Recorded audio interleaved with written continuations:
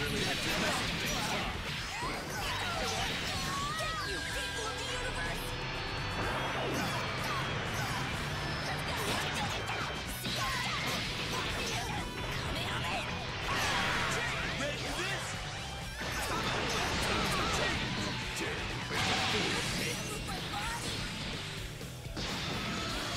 get my revenge.